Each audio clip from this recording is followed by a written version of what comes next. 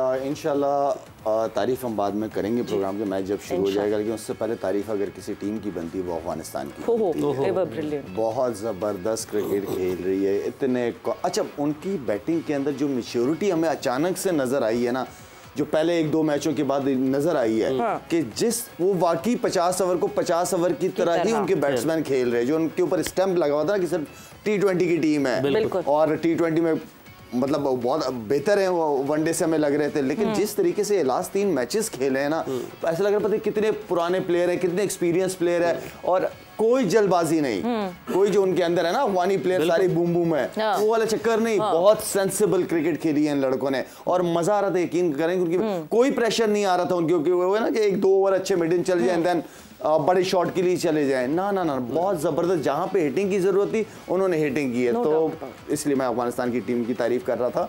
Gradual shift हुआ है पहले मैच से जो इंग्लैंड के खिलाफ जीता वो लगा चले इंग्लैंड डाउन एंड आउट है। पाकिस्तान के खिलाफ अच्छा जी पाकिस्तान को तो बहुत दफ़ा ये चैलेंज मगर कल जिस तरह मेच्योरिटी जो आप बात कर सवेरा देखें उनके साथ जो इंग्लिश कोच है ट्रॉट ट्रॉट यार वो मेरे ख्याल में उसको क्रेडिट उसको भी देना चाहिए कि इस तरह ठक करके चेंज होना ये कोई मज़ाक नहीं है लेकिन उस बंदे ने वाकई उनको बिठा के समझाया होगा। नहीं बिहाइंड द सीन्स क्या स्ट्रैटेजी चल रही थी? अगर हमारी प्रोडक्शन टीम वो भी दिखा सके तो हम बिल्कुल वो दिखाना चाहेंगे that there was a complete strategy हम मुशी भाई हमेशा एंडी फ्लावर की स्ट्रैटेजी की बात करते हैं। This is the strategy very well sorted 10 over में जो है वो ऊपर 50 लिखा हुआ है जो कि तस्वीर में दिख नहीं रहा है। 10 ओवर में 50 रन बनाने हैं 20 ओवर में 100 बनाने हैं 30 में 150 और ये 48 ओवर में कि आखिरी दो ओवर से पहले खत्म कर दो कि प्रेशर ना पड़े दिमाग पे और ये टारगेट अचीव कर लेना एंड देन वो सामने लिख रहे हैं कि अचीव किया, कितने कितने अचीव किए कितने? जो प्लान था कि हम एग्जीक्यूट कर रहे हैं कि नहीं कर रहे जैसे हम 20वें ओवर तक आप देख रहे हैं कि 89 है तो तेरह हम- रन पीछे हैं। बिल्कुल उसके बाद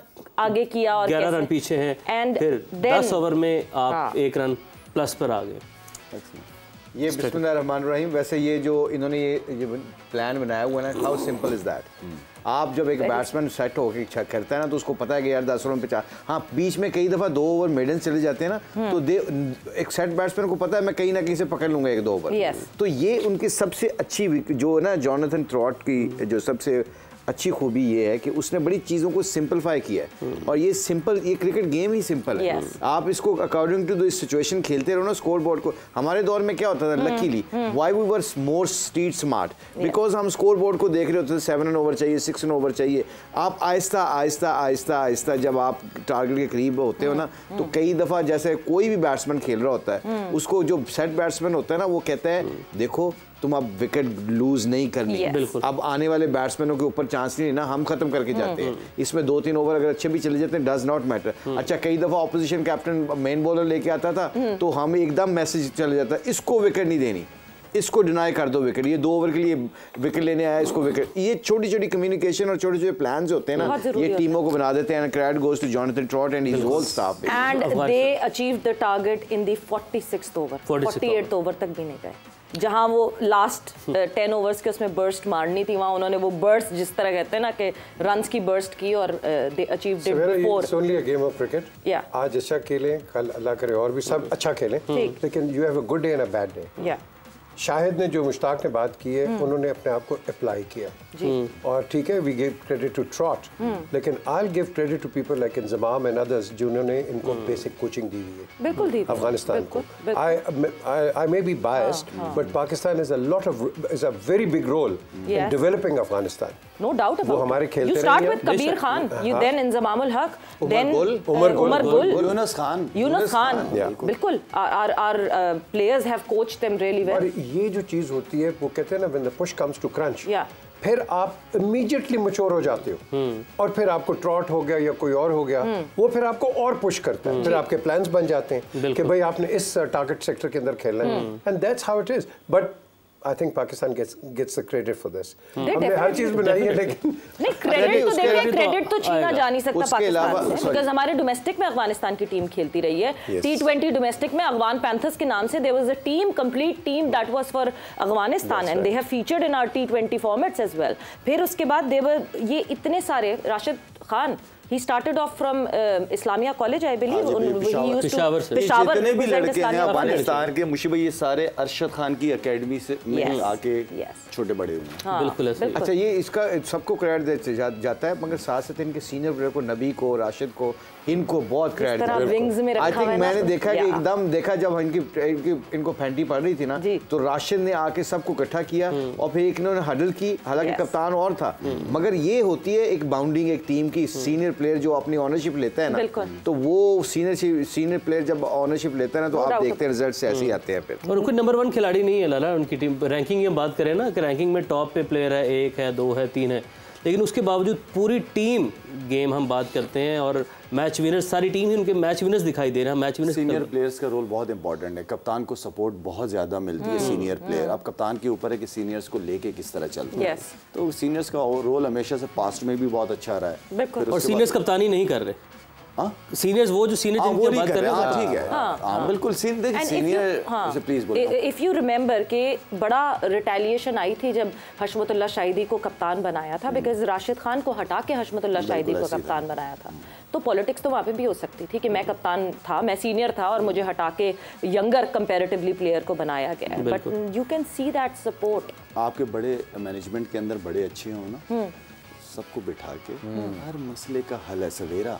मसला आपने बढ़ाना है कि खत्म करना है ये आपके ऊपर डिपेंड करता है। बिल्कुल अगर आगे आपने बढ़ना है कुछ करना है तो फिर छोटी मोटी चीज़ें ना इसको इग्नोर करता है बड़ा बंदा। वो अपने गोल पे फोकस करता है। हम एज अ लीडरशिप हमने तो ये चीज़ें देखी हैं पहले बास्ट में भी देखी हैं उन्हीं चीज़ों को हम अपनी ज़िंदगी में भी लाने की कोशिश करते रहे। क्योंकि आप फाउंडेशन भी चला रहा हूँ एज अ चेयरमैन तो बहुत सारी चीज़ों को आप देखते हो सीखते बहुत ज़्यादा हो। अगर आपने आगे का सफ़र करना है आगे ज़िंदगी में बढ़ना है ये छोटी मोटी चीज़ें आपको डिस्टर्ब करने के लिए आती रहती हैं लाइफ में। लेकिन आपका मकसद वहाँ तक पहुँचना होता है आप उनको इग्नोर करते हो सबको साथ बिठाते हो एक टीम की शक्ल में आप आगे बढ़ते हो। बिल्कुल और इसी तरह जो है वो आगे बढ़ना चाहिए जब तक आप और टीम एक स्ट्रांग हो तो ज़ाहिर सी बात है आगे बढ़ना और बेहतर हो जाता है।